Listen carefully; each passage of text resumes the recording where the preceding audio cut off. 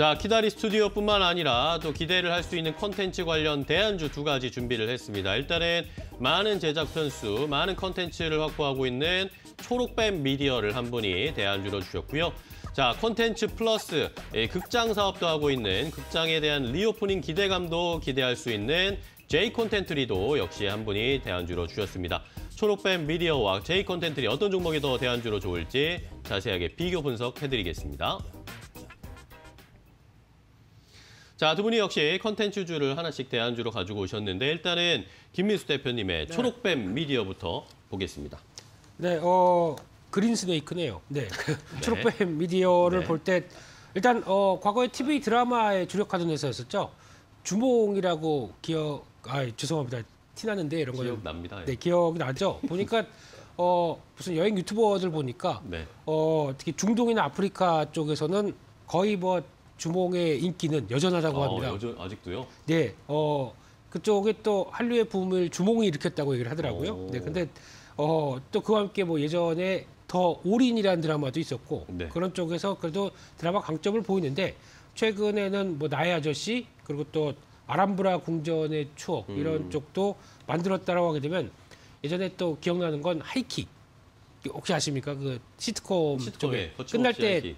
예, 초록뱀이 딱 나오죠. 음, 네, 그래서 나오죠. 기억이 났는데 어, 그런 쪽에서 어, 드라마 컨텐츠의 강자다 보니까 네. 거기서 나오는 OST라든가 또 테마파크 주몽월드죠. 이것도 또 주몽이죠. 네, 이쪽으로 계속 연결되면서 어, 변화도 나왔었고 게다가 또 초록뱀 푸드팜이라고 하는 외식업체까지 이어지다 보니까 오. 어, 어느 정도 어, 어떤 드라마 능력을 확대시키는 어, 어떤 흐름은 나오고 있다고 봐야 될 것 같고요.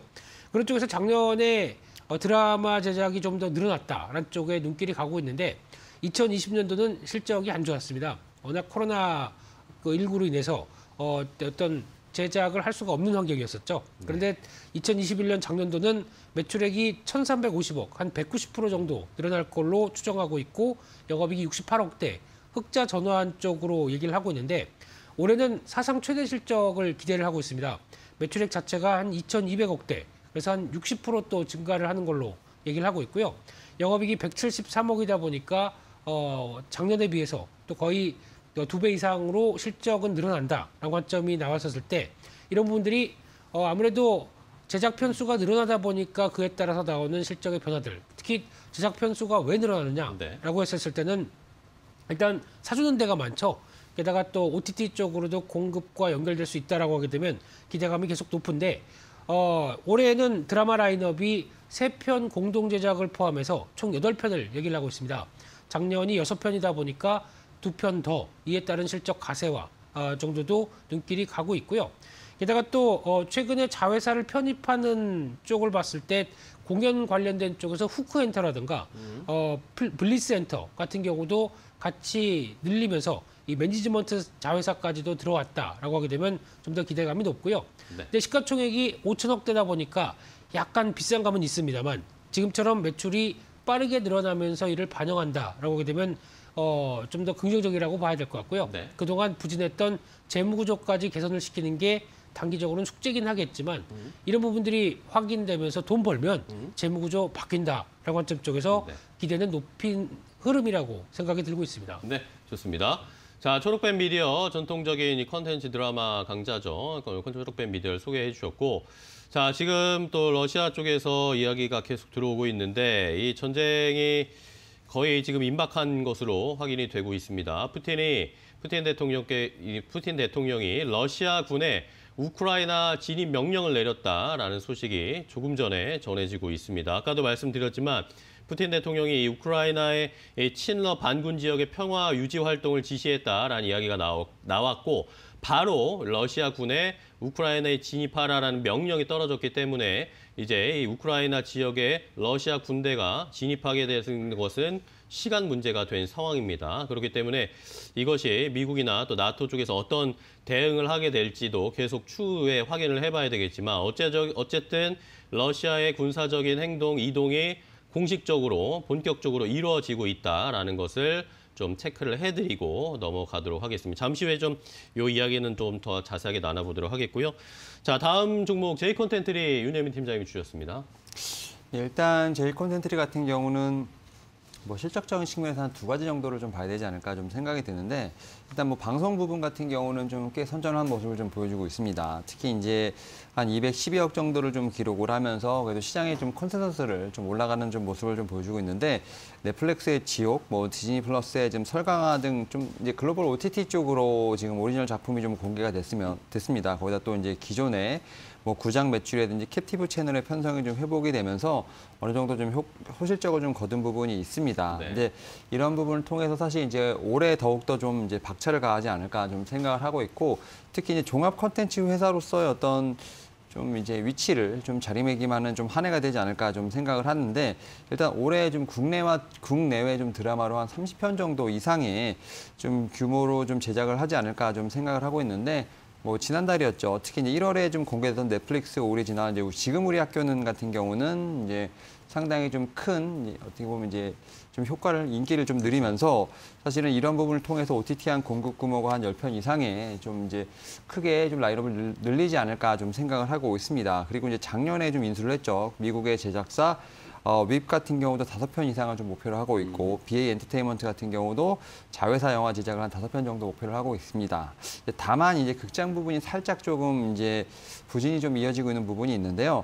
그래도 이제 극장 같은 경우는 좀 reopening 관련된 부분에서 좀 어느 정도 어, 기대감이 있지 않을까 좀 생각을 하고 있습니다. 특히 이제 작년 3분기부터 분명히 이제 좀 적자를 보이고 있습니다만 약간의 좀 회복세는 좀 보이고 있다는 점 이런 점이 좀 어느 정도 올해 좀, 좀 기대해봐도 되지 않을 포인트가 되지 않을까 좀 생각을 하고 있고 사실 이제 컨텐츠 제작사로서의 어떤 이러한 부분이 좀 여러 가지로 좀 믹스가 되면서 올해는 좀 기업 가치에 대한 분명히 rerating이 좀 예상이 된다 말씀드릴 수 있을 것 같습니다. 네, 좋습니다.